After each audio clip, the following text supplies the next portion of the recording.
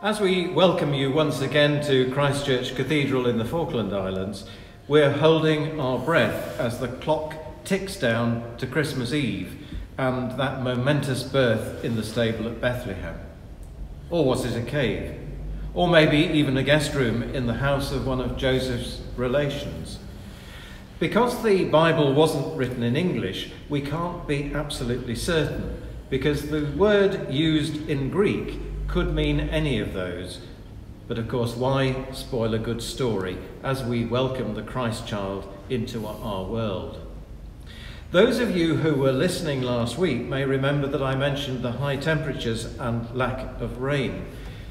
I've been given strict instructions not to mention any of this again because no sooner had the words left my lips than the rain and the sleet and the snow began, and it has hardly stopped since.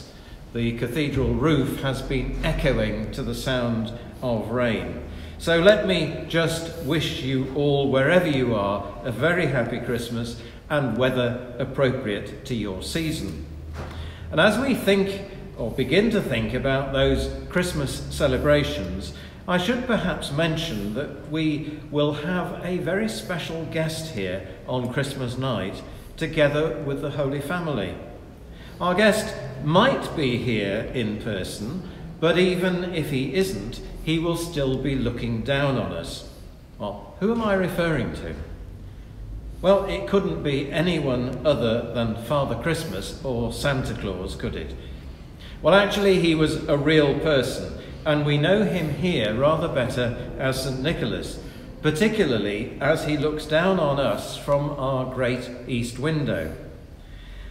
As the Governor has already granted Santa Claus the necessary permits to enter the Falklands as a key worker, as well as exemption from the quarantine regulations subject to certain conditions, firstly that he wears a face mask at all times, except when eating the mince pies and drinking the sherry that has been left out for him by all the girls and boys, and that Rudolph's red nose will be swabbed, and Mr. Claus and all his reindeer will be tested to ensure that they are coho hovid free, the cathedral is encouraging him to call in during his Falklands itinerary. And in order to facilitate this, as rector for the time being, therefore, and in pursuance of Section 9 of the Constitution of Christchurch Cathedral, as approved by the registered vestry on the 1st of October 1978, I am issuing St Nicholas with a permit to use the cathedral's landing strip, which is conveniently wide enough for a sleigh with a competent driver this landing strip is more particularly described as the roadway between the cathedral and John Street under the authority of a special grant number 303 by Victoria, by the grace of God of the United Kingdom of Great Britain and Ireland Queen, Defender of the Faith, etc., given under letters patent dated the 28th of February 1887. This will, of course, enable St Nicholas to make a brief stop for carols under the whalebone arch and midnight mass, wearing his face mask, of course, while the relevant testing is undertaken before his onward journey. So, wherever you are watching, we hope that you enjoy our service today and will want to join us again on Christmas Day as we celebrate the birth of the baby Jesus. Happy Christmas.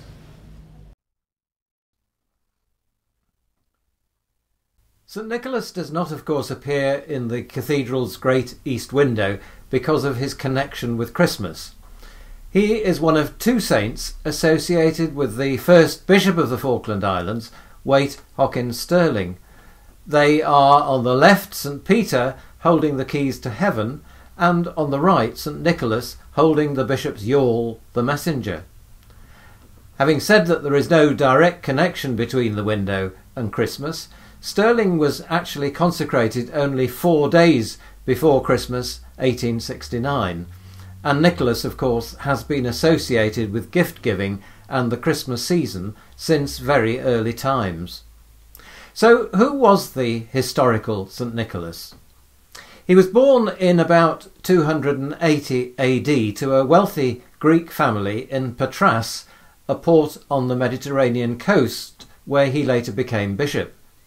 Over the course of time, he became famous for his kindness and generosity to the poor, being specifically credited with saving three boys from being butchered, rescuing a boatload of pilgrims, providing secret dowries of gold for three daughters of an impoverished nobleman, and saving the city of Myra from starvation. It was as a result of stories like this that Nicholas was rapidly made the patron saint of sailors, children, merchants, pawnbrokers, and the poor. He died on the 6th of December 343, and his shrine soon became one of the most popular places of pilgrimage anywhere in the world. The stories suggest that he was indeed a model Christian and a very suitable candidate for reincarnation as the Christmas Santa Claus, itself a corruption of the name Nicholas. In the cathedral's east window, he appears in his traditional colour of green. In the days before Coca Cola turned him into an advertising slogan as the plump, jolly man dressed in red that we recognise today as Father Christmas. Bishop Stirling died in 1924, and by December of that year, a stained glass window at the east end of the cathedral was already under consideration. Governor of the day, Sir John Middleton, took a keen interest in the proposal and wrote to potential donors worldwide soliciting subscriptions. It appears, however, that the bishop was not initially supportive. As Dean Smith, in one of his letters, writes, We, on the other hand, were determined to have something here, and as it appeared that we should have to provide the money entirely ourselves, we felt we could not undertake anything that would involve a large expenditure. Luckily now that has all changed, and you and your diocese have done us a great service by promising to contribute and by insisting that the memorial shall be in our cathedral. Dean Smith seems to have been lukewarm over the window, however, preferring a new oak chancel screen, which he described as the most appropriate memorial. While saying that a stained glass window could be put in in the course of time, he hopes that someone other than myself will be responsible. I am woefully ignorant about stained glass windows, he wrote, even though I have very decided likes and dislikes in this connection, adding that I should hate to live and worship with an east window that annoyed me. Can we perhaps hear in this a reluctance to approve a window with saints and the central figure of Christ the King. In the event, the design was formally put to the Cathedral Council on the 28th of January 1926, when the minutes record that the chairman produced a design of the proposed stained glass window to be placed in the cathedral to the memory of the late Bishop Stirling. The design had been furnished by Mr. A.K. Nicholson of 105 Gower Street, London, WC1, who described the same in detail. The cost of the window is estimated at £300, carriage by sea and insurance extra. Discussion continued until 1926, probably because of the difficult fundraising situation. By the 18th of March, however, over £781 had been raised. At a meeting of the Church Council on that day, Drawings of the proposed memorial window were examined and various points in connection with it discussed, among them being the place for the title or inscription, the blocking of the view caused by the reredos and screen, and the colours of the coat of arms at the bottom of the window. Nevertheless, the window was finally approved, and the next we hear is not only that the work on the window has been completed, but the window itself is expected by the June mailboat, £600 already having been sent to England on account. The east window, complete with St Nicholas, was erected fairly soon after this in 1927, and in December a description appeared in the Falkland Islands magazine and church paper written by Archibald Nicholson, the artist and designer. In the right light, we have the figure of St Nicholas, he wrote, the patron of all those who go down to the sea in ships and occupy their business in great waters. He wears full episcopal vestments and holds in his left arm the model of the small yawl called the Messenger, in which the bishop used to tour round his diocese. I believe it was a boat of some ten or twelve tons, and made some wonderful voyages between the islands and the mainland.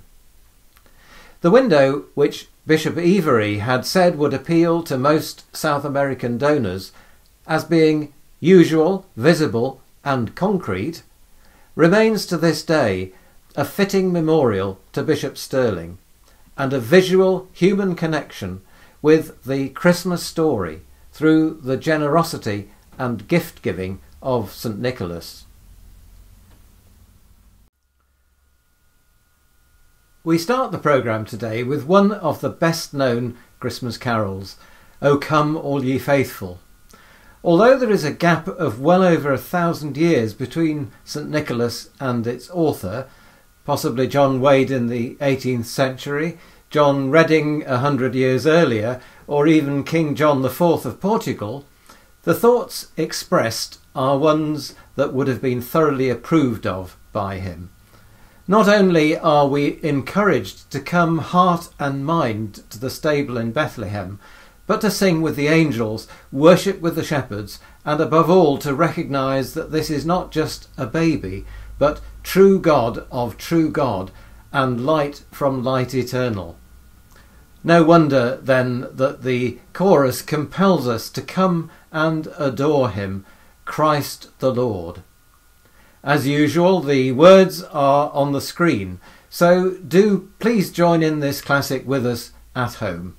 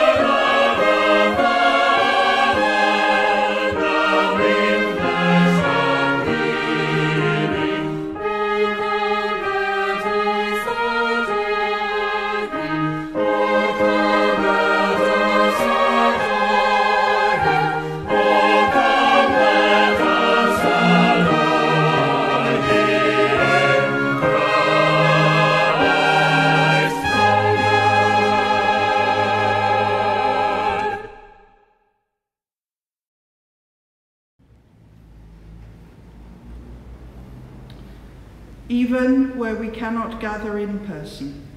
Emmanuel, God with us. Even where some Christmas traditions may have to go. Emmanuel, God with us. Even where we might not get to hug family and friends. Emmanuel, God with us. Even where we cannot sing carols beside each other. Emmanuel, God with us. Even if Christmas cheer is harder this year. Emmanuel, God with us. Dreams and angels, prophecies, mystery and magi, choirs and shepherds, we make our way to the star-blessed stable, to the light shining miraculously in human misery and darkness. We are almost there. Once God's plan was a mystery hidden from our sight. Now God has disclosed what was kept secret for so very long. He has brought it out in the light. In the brighter light on this fourth Sunday in Advent, may we see more clearly the glory of God in Christ and sing of the steadfast love of the Lord forever. With my mouth I will proclaim your faithfulness to all generations. I declare that your steadfast love is established forever. Your faithfulness is as firm as the heavens. And now we light the fourth of our Advent candles.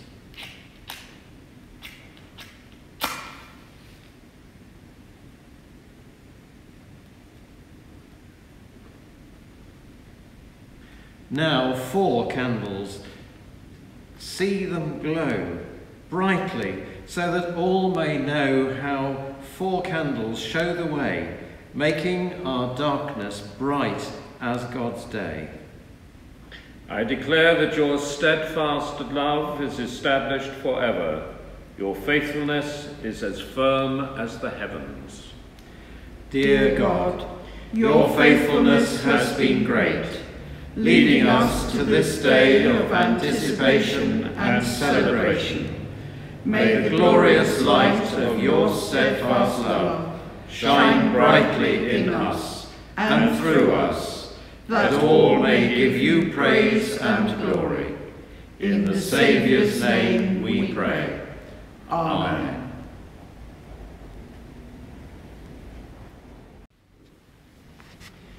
Let us pray.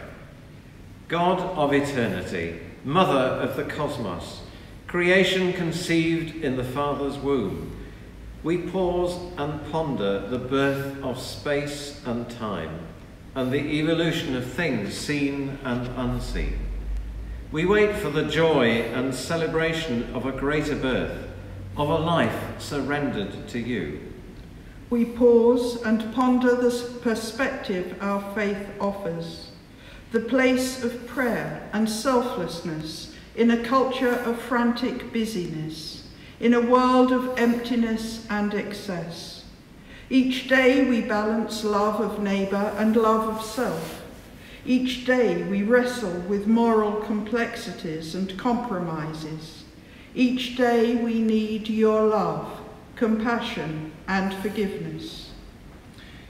Eternal lover, you know the burdens we carry, the pain, loneliness and fears.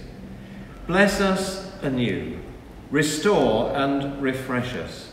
May we stand before the forgiving Father and feel God's embrace.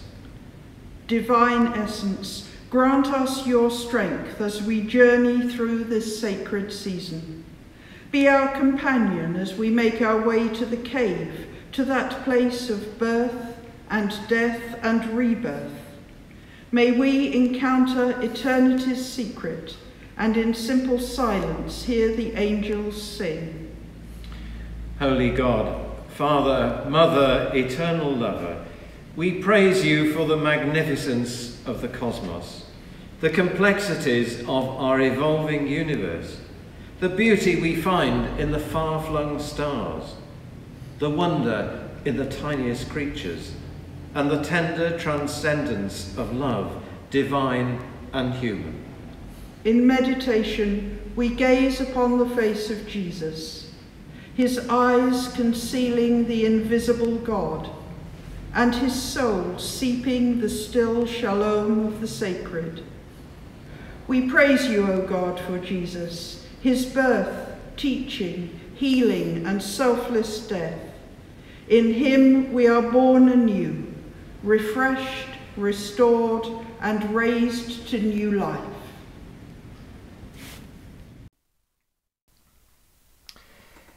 It's not a big step from admiring the beauty of the far flung stars to thinking about one particular star as it shone above the town of Bethlehem all those hundreds of years ago. O Little Town of Bethlehem was originally written by an American vicar, Phillips Brooks, for his Sunday school after a visit to the Holy Land in the mid 19th century. However, the carol so beautifully captures the moment of the Saviour's birth that it has become synonymous with the celebration of Christmas wherever English is spoken. You could almost say that Christmas would not be Christmas without the opportunity to sing, For Christ is born of Mary, and gathered all above, while mortals sleep, the angels keep their watch of wondering love. Stillness, the everlasting light, glad tidings, peace to men on earth, these are universal longings that build up the plea of the last line. O come to us, abide with us, our Lord Emmanuel.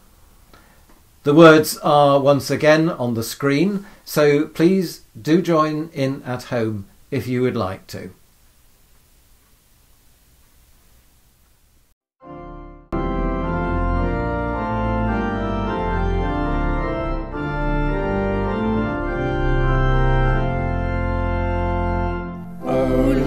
little town of Bethlehem, how still we see thee lie. Above thy deep and dreamless sleep, the silent stars go by. Yet in thy dark street shineth the everlasting light. The hopes and fears of all the years are met in thee tonight.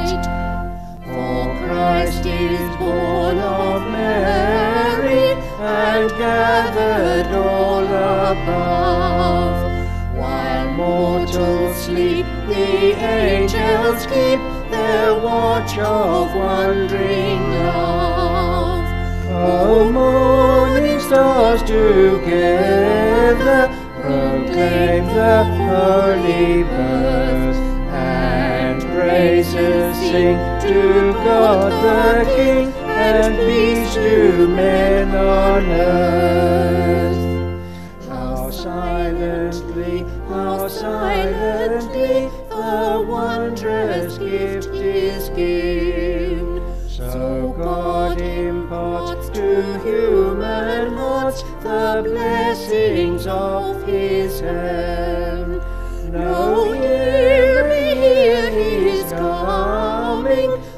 In this world of sin, where meek souls will receive him still, the dear Christ enters in. O holy child of Bethlehem, descend to us, we pray. Cast out our sin and enter in, be born in us today. We hear the Christmas angels, the great glad tidings tell. Oh, come to us, abide with us,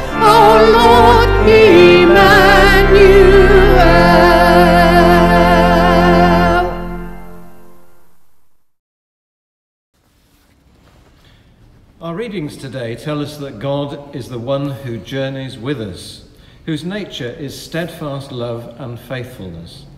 Psalm 89 offers us that reassurance, so let it speak to your soul. In the reading from Samuel, King David is preoccupied with building a suitable house for God. However, it's clear that the Lord cannot be contained in any one fixed place and can't be defined by the work of human hands. God is always larger, more mysterious, more expansive than anything we can conceive or construct. And when we move on to Mary being visited by the Archangel Gabriel, commonly called the Annunciation, it's clear that something very special and miraculous is going on. Gabriel tells Mary that the Holy Spirit will overshadow her. It's not a word that we can ever fully understand, although the point surely is that God was the Creator. In the face of Jesus, we see the invisible God. The nature of the eternal is revealed in time through the humanity of Jesus. Psalm 89, verses 1 to 4. I will sing of your steadfast love, O Lord, forever. With my mouth I will proclaim your faithfulness to all generations. I declare that your steadfast love is established forever. Your faithfulness is as firm as the heavens. You said, I have made a covenant with my chosen one. I have sworn to my servant David. I will establish your descendants forever and build your throne for all generations. Glory to the Father, and to the Son, and to the Holy Spirit, as it was in the beginning, is now, and shall be forever. Amen. The reading is taken from 2 Samuel chapter 7, verses 1 to 11. Now, when the king was settled in his house, and the Lord had given him rest from all his enemies around him, the king said to the prophet Nathan, See now, I am living in a house of cedar, but the ark of God stays in a tent. Nathan said to the king, Go, do all that you have in mind, for the Lord is with you. But the same night the word of the Lord came to Nathan Go and tell my servant David, Thus says the Lord Are you the one to build me a house to live in? I have not lived in a house since the day I brought up the people of Israel from Egypt to this day, but I have been moving about in a tent and a tabernacle. Wherever I have moved about among all the people of Israel, did I ever speak a word with any of the tribal leaders of Israel, whom I commanded to shepherd my people Israel, saying, why have you not built me a house of cedar? Now therefore, thus you shall say to my servant David, Thus says the Lord of hosts, I took you from the pasture, from following the sheep, to be prince over the people Israel. And I have been with you wherever you went, and have cut off all your enemies from before you. And I will make you a great name of the great ones of the earth and I will appoint a place for my people Israel, and will plant them, so that they may live in their own place, and be disturbed no more, and evildoers shall afflict them no more, as formerly from the time that I appointed judges over my people Israel, and I will give you rest from all your enemies. Moreover, the Lord declares to you that the Lord will make you a house. This is the word of the Lord. Perhaps in a sense, our next carol reflects the fact that God does not live in a house. This traditional Old English, or perhaps more accurately Old Cornish carol, emphasises the poverty of the shepherds, the cold winter's night, and the manger full of hay. In a line that we don't often sing these days, the wise men eventually found the babe in poverty. The carol probably dates from the early medieval period and would have been widely sung across Britain. The modern version dates from the early 19th century, since when it has become popular across the whole English speaking world. Although solidly based on the New Testament, the anonymous author has added some embellishments of his own. The words of this popular carol are on your screen, so Please do join in at home if you would like to.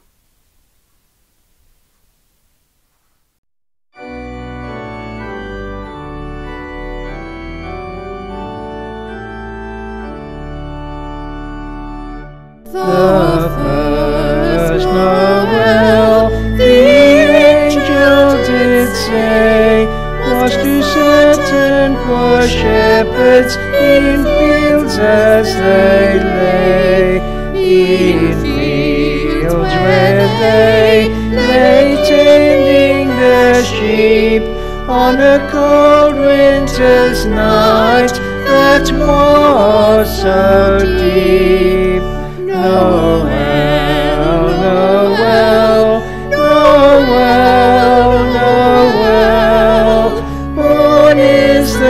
King of Israel. They looked up and saw a star shining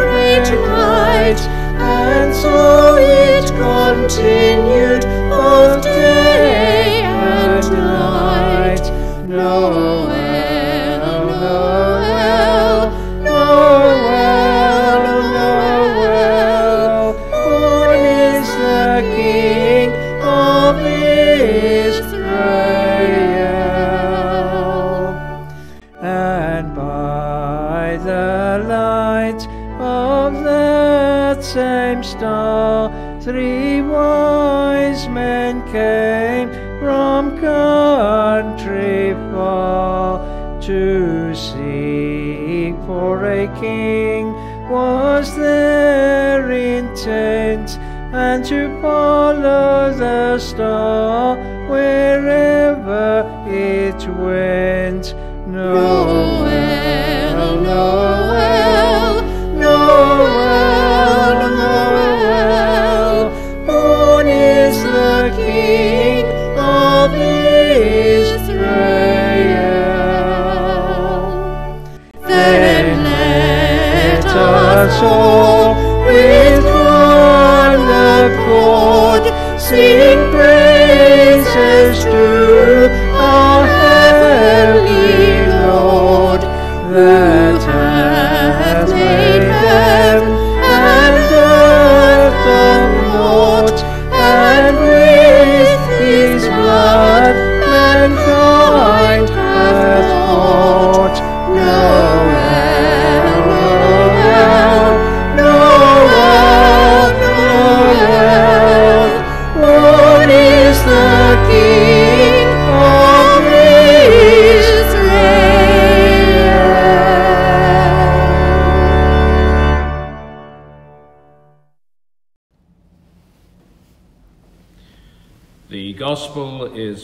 Gospel according to Luke, chapter 1, beginning at verse 26.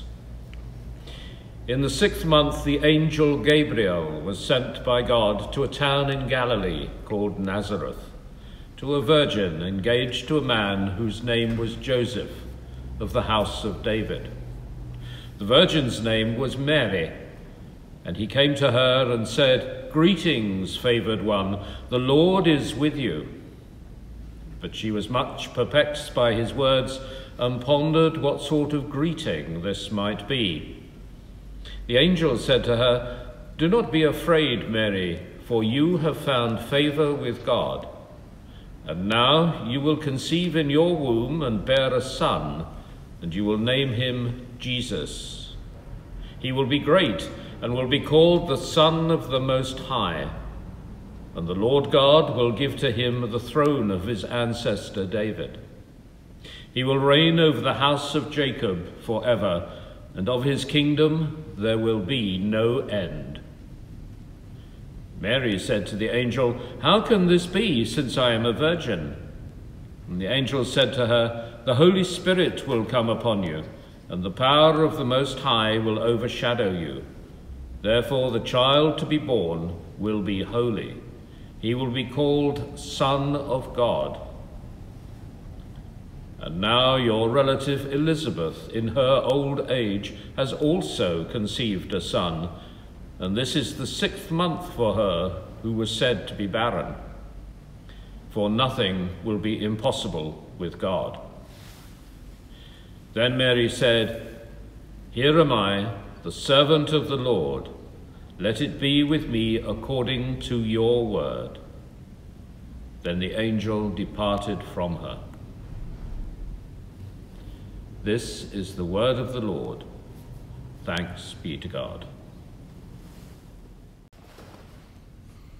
I'm sure we've all been complaining about the weather this week heavy rain, storm force winds, sleet, snow.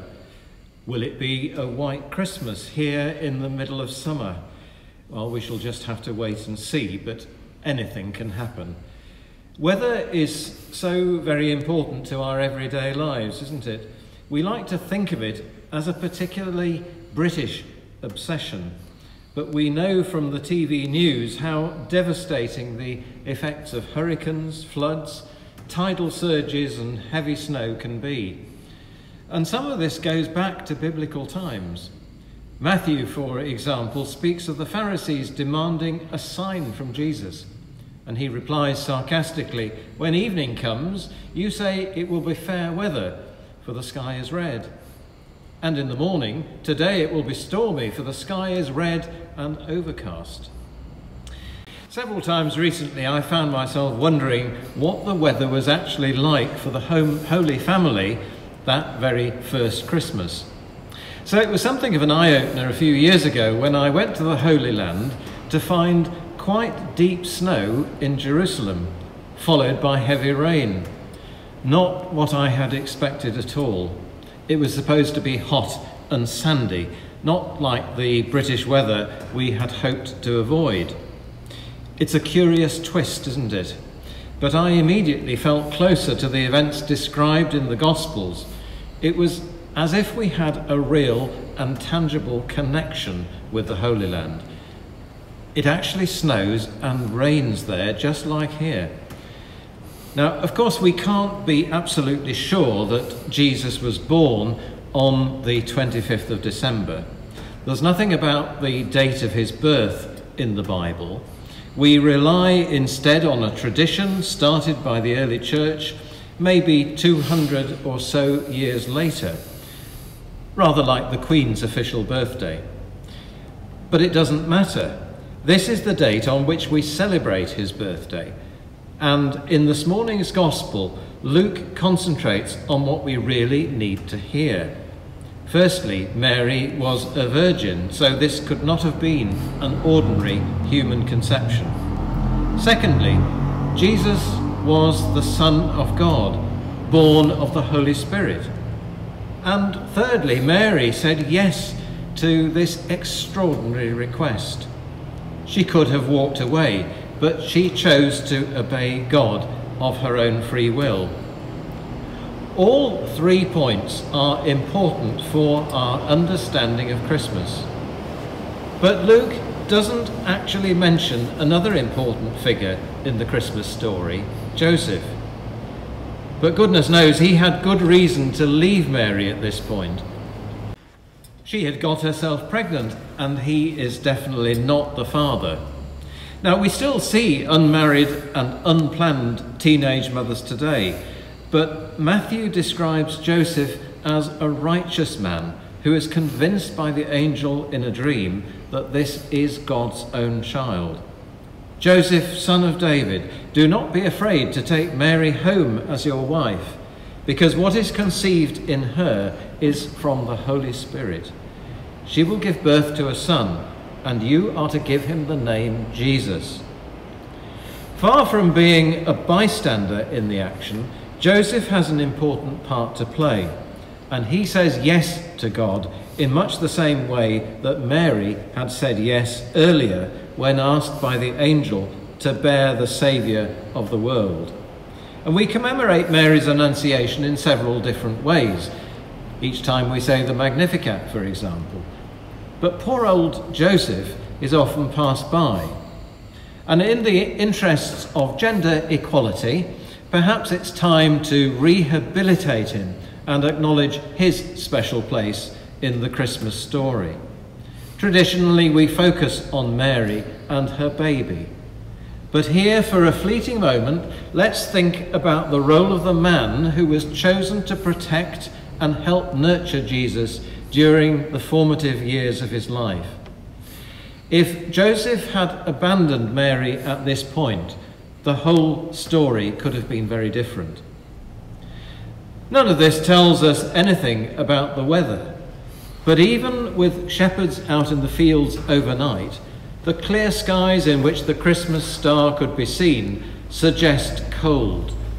And we know that the temperature in the region of Bethlehem ranges from an average 7 degrees centigrade to well below freezing at night, and that there is frequent rain. So, if only on a practical level, Mary needed Joseph for support. It reminds me of the poem by T.S. Eliot about the wise men. A cold coming they had of it. It must have been equally difficult for Mary and Joseph on their long trek to Bethlehem. And as we come to the end of our Advent journey, it's time to join Mary and Joseph in the stable at the end of their journey. Whatever the weather outside, we are invited to come in and see the Christ child lying in the manger it can indeed be a life changing experience. As we share the good news of God's love, we now express our faith in the words of the Creed, and I invite you to join with me at home. I believe in God, the Father Almighty, creator of heaven and earth.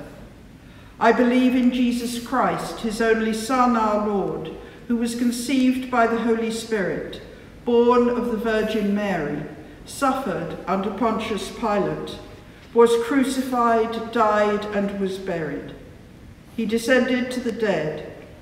On the third day he rose again. He ascended into heaven. He is seated at the right hand of the Father, and he will come to judge the living and the dead. I believe in the Holy Spirit, the Holy Catholic Church, the communion of saints, the forgiveness of sins, the resurrection of the body, and the life everlasting. Amen. The collect for today, the fourth Sunday in Advent. God, our Redeemer, who prepared the Blessed Virgin Mary to be the mother of your Son, grant that, as she looked for his coming as our Saviour, so we may be ready to greet him when he comes again as our judge, who is alive and reigns with you in the unity of the Holy Spirit, one God, now and forever. Amen.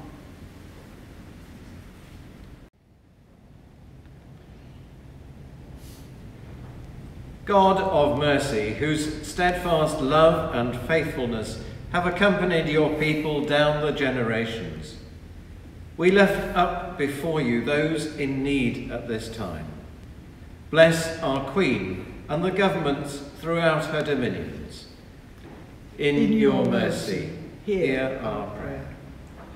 Grant wisdom and discernment to our leaders in the complex challenges which they face, balancing the demands of economics and health, physical and mental May your spirit overshadow our health professionals, nurses, doctors, chaplains, and all who serve in our hospital and care for our frail and vulnerable and in the community.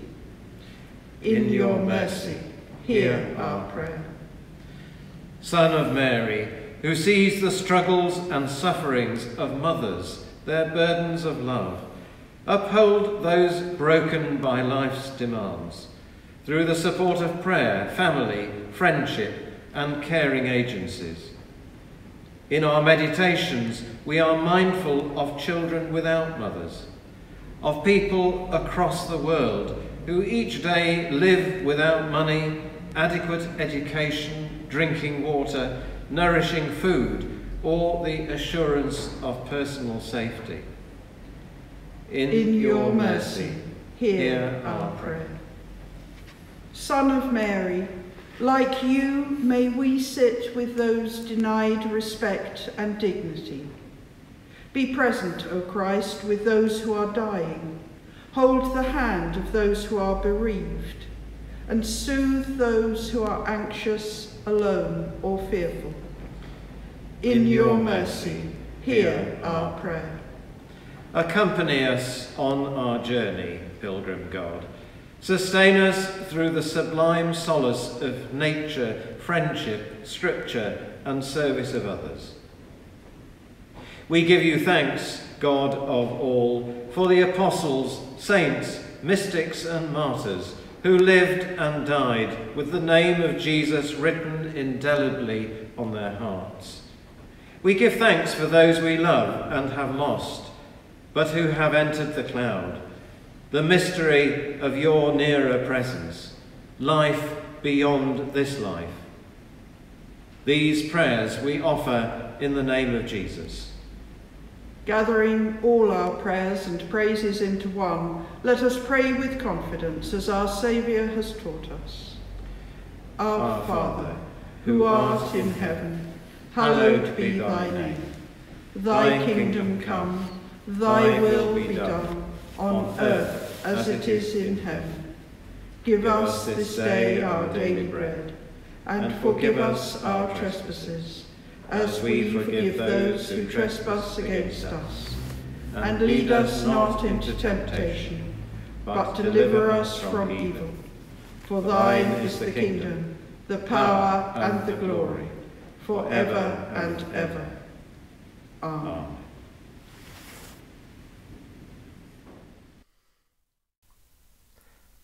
We follow our prayers with one of the best known of all English Christmas carols, While Shepherds Watched Their Flocks by Night.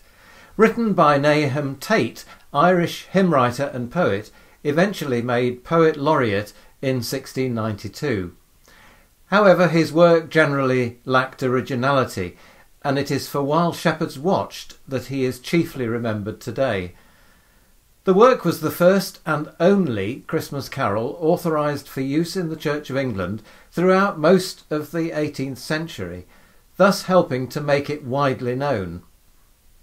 Most of the other carols were thought to be too secular and just not serious enough to be sung during church services.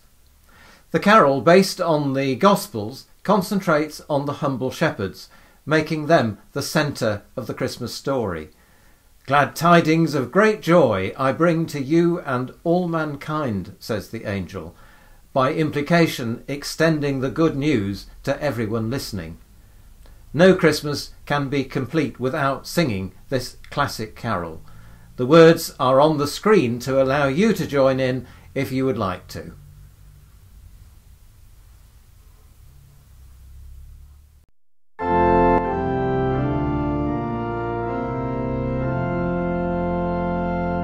While shepherds watched their flocks by night, all seated on the ground, the angel of the Lord came down, and glory shone around. Fear not, said he, for mighty dread had seized the troubled mind. Glad tidings of great joy I bring to you and all mankind.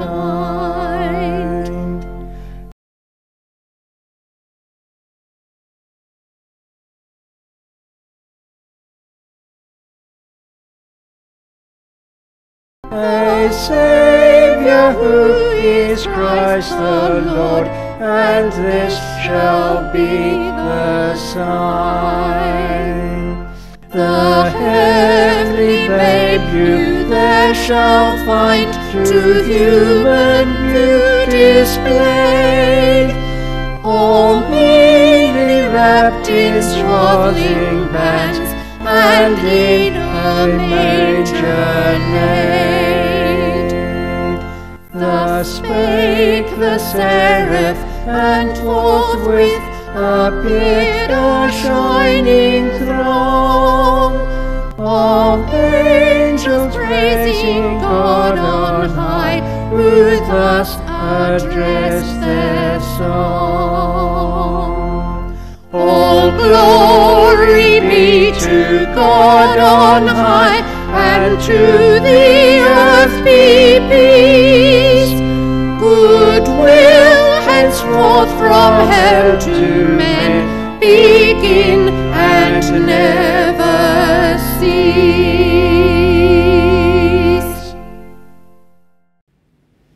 May God the Father, Judge all merciful, make us worthy of a place in his kingdom. Amen. May God the Son, coming among us in power, reveal in our midst the promise of his glory. Amen. Amen. May God the Holy Spirit make us steadfast in faith, joyful in hope, and constant in love. Amen. And the blessing of God Almighty, the Father, the Son, and the Holy Spirit be with you and with those whom you love, now and always. Amen. Amen.